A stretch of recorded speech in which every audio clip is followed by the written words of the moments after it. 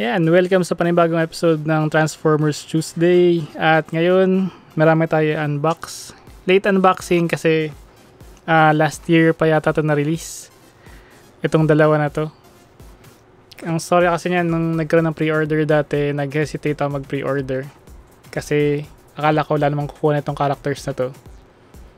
Tapos nung napansin ko, biglang napupuno na yung mga uh, list ng mga nagpa-pre-order akong humabol, kaya lang di na mabot. Tapos siguro after ilang months, nagkaroon ulit, nag-open ulit ng pre-order yung isang seller. Kaya nakuha ko isa. Tapos yung isa naman, uh, hindi na available sa mga local na toy store. Uh, local resell- resellers. Kaya yun, nagpatulang ako kay Eka na mag-order sa Big Bad Toy Store. Kasi si BDO, uh, ah, pinapahirapan yung mga transactions ko online. Kaya hindi ma-process. Ayun. So, ayun. Ito na. Yung una muna ay mas malaking box. Purong ko lang yung camera ng konti. Kasi batamaan. Kasi yung desk ko, hindi siya ganun kalaki para sa unboxing. Ito. Tadan! Malaki lang yung box niya. Kasi tatlong item lang naman to. Teka. Purong ko lang yung upuan ko at saka yung camera, yung tripod para hindi tamaan yung camera at baka matumba. So, bubuksan ko na. Na-order to around November, di ba? November. So, double check ko lang, lalagay ko nung date na order. Tapos dumating to nung December 1 sa post office. At kinlaim namin kanina. Bali medyo natagalan to compared na manaran kasi alam niyo naman ngayon pandemic. Pero ang okay doon kahit na matagal at sa post office lang, hindi naman nasira yung box. Hindi katulad nung sa mga local na courier. Nagbabayad ka na ng mahal para ingatan yung package, yuyupin pa. Yan ay ibang story na yan. Uh, ito. Siyempre, meron ulit ganito. At nahiwa ko. Parang mini catalog. Card lang naman. Kung ano yung mga available sa store. Ito yung ibang laman. Nag-sale na to sa mga local na Toy Kingdom at Toys R Us. Kaya lang, di ko naabutan.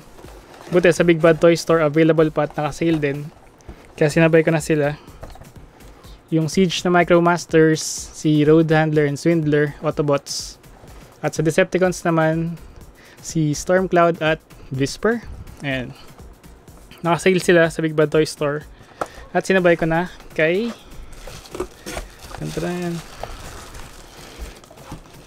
Ah, teka, lasing yung malaking box. Tatabi ko muna.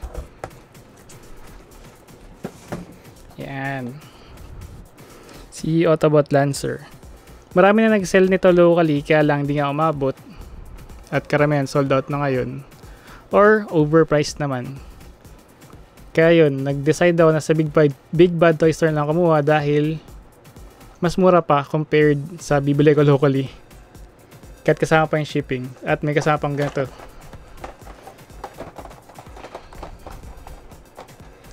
Yung total na gastos ko sa mga to, ipopost ko lang din sa comments or sa description. Pero ang tama yung computation ko, mas mura pa sila kaysa kumuha ko ng local. Tapos, ayan, tatanggalin ko lang yung seal dito para ma-open.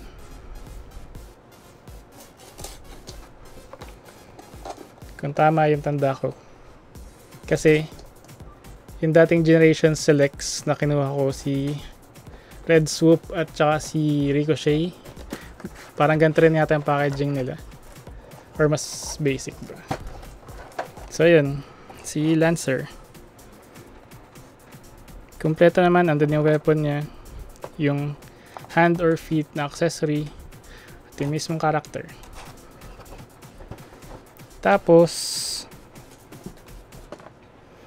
ano kasi siya, pwede siya maging arm or leg itong combiner na to. Ah, yung unang version kasi ito, yung ginawa ko, ang legs niya, yung extra na soup, yung blue na soup, kasi yung red soup na nakakabit kay Volcanicus, at si Ricochet yata yung kabilang leg na ginawa ko dati. Kasi nga, hindi ko pa nakuha dati itong si Lancer. At si Greenlight. Speaking of Greenlight, ito na rin siya. Ayan. Kasi nga, uh, last month din yata, November or kailan ba? Basta si King ng TFHK nag-open ulit ng pre-order nito. Kaya ginrab ko na yung opportunity. Kasi kahit sa Amazon na sold out na rin to. Ayan. So, kompleto na ang combiner na to. Hindi siya yung best na combiner sa si uh, sa series ng Transformers kasi yung proportion niya medyo weird. Pero kasi gusto kong kumpletuhin siya dati pa.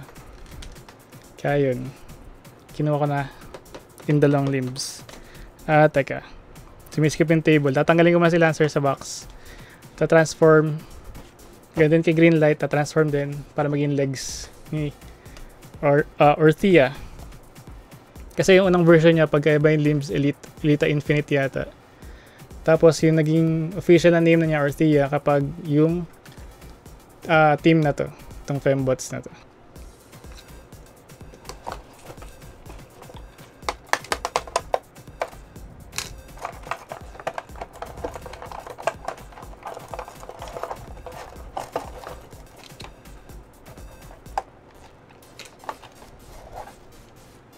So yan, hindi ko napapakita yung transformation nito kasi similar din naman siya sa transformation ni Nova Storm at uh, Moonstar ba yung pangalan isa? Alalay ko lang yung names nila. Alam ko kasi na unbox ko na yung isa at na videoan ko rin dati. Since pareho lang naman sila, skip ko lang yung transformation na part. At papakita ko lang pagka na-combine na ito dun sa uh, torso nila. Okay, so itong isa naman, si Greenlight, unbox ko na rin. Uh, Ayan, medyo nangangapa ako sa unboxing dahil hindi ganun karami yung Siege characters na kinuha ko. At nalilimutan ko lagi yung pagbukas. Although pwede nyo man buksan kung paano nyo gusto, pero kanya-kanya naman. Instructions na baka hindi ko na i-check unless kailanganin ko talaga dahil baka nalimutan ko na paano mag-transform nitong ganitong mold kasi years ago ko pa nakuha yung dalawang version na ganito si nalilimutan ko na name nila. Basta ibang members ng combiner team ni Earthia lalagay ko na lang sa description and names. Or isisingit ko sa caption itong video. Tapos ito yung kakaiba rin sa kanya dahil may kasama siyang uh, Battle Master ba tawag sa ganito? Yung original na labas na ganito yung unang mold si Lionizer. Ito naman si Dazzle Strike yata. Uh, Dazzle Strike.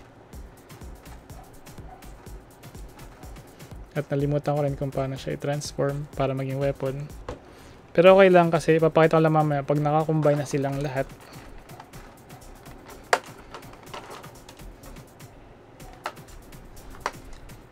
tanggalin ko lang itong mga elastic na part. Uh, elastic na. Hindi ko alam ang tawag dyan hanggang ngayon. Kung alam nyo paki-comment down below. Salamat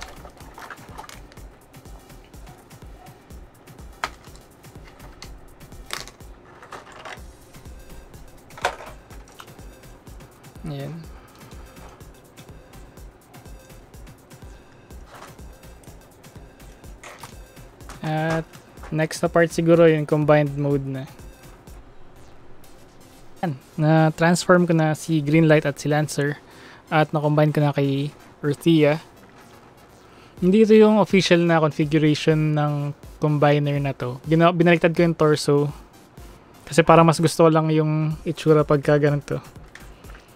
Tapos, uh, siguro compared sa lahat ng combiner na meron ako, ito siguro yung pinaka-flimsy tingnan at flimsy talaga. Pero kasi gusto ko yung ano ko, parang gusto ko lang sila makompleto talaga at yung itsura nila. Kaya ayun, nung naging available nga ulit for pre-order itong sa Greenlight, nag-dibs agad ako. At yun nga, nagpatulong ako na orderin sa Big Bad Toy Store itong si Lancer. Kasi nga, para makompleto na to. Tapos, yung hands and feet na gamit niya ngayon kay Victorion. Yung una din na female combiner sa Transformers history yata. Yun yata ang pinakaunang combiner team na puro babae. Or ano, ewan ko, kasi sabi niya ba wala naman daw gender on Transformers. Pero yun.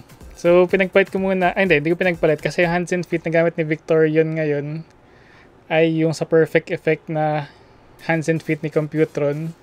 Kasi yung suot ni Computron naman, yung sa TDW. Ganon din kay Bruticus na ano, combiner. TD, TDW na hands and feet. Tapos yung perfect effect na hands and feet niya, nilipat ko naman kay Megatron niya. Hindi ko lang mapakita ngayon kasi nasa pasita silang lahat. At yung nag-isang combiner dito sa Cavite ay ito, si Arthea. Oops! Sample ng pagiging flimsy niya. Pero, susolusyonan ko lang yan. Lalagyan ko ng pledge wipe and shine yung mga joints na maluwag. At kung may mga ratchets na pwedeng skipan siguro, yung tatanggalin yung screw. Lalagyan ng filler na plastic or kahit anong pang pasikip. Balagyan ko na lang. Pero yun, nakakatawa at na-complete na siya. Ayan, teka. Kasi yung sa hole na kinakabitan nitong paa, medyo maluwag din. Kaya lalagyan ko rin ng pledge yun. Pledge wipe and shine para sumikip. Pero sa ngayon, ayan. Ganyan muna siya. Sana hindi matumba. Hawan ko lang. So, ginawa kong weapon niya, yung default na weapon sa mga deluxe class, pinagkabit ko na lang. Ganun din sa kabila. Pero meron din ano eh, configuration na pwedeng gawin. Yung weapon naman ni Megatron niya, ah, ni Victorion na sword, pwedeng i-combine para magmukhang bow and arrow. Siguro subukan ko yun pagka nakapunta sa Pasita. Ayun. Kukunin ko yung weapon niya. At dun, dun ko muna tatapusin yung video. Thank you sa panonood. Kung nagustuhan nyo, hit like and subscribe. At kung gusto nyo updated lagi sa uploads namin, ring nyo na rin yung bell icon. At hanggang sa susunod na vlog, salamat sa panonood. Bye-bye.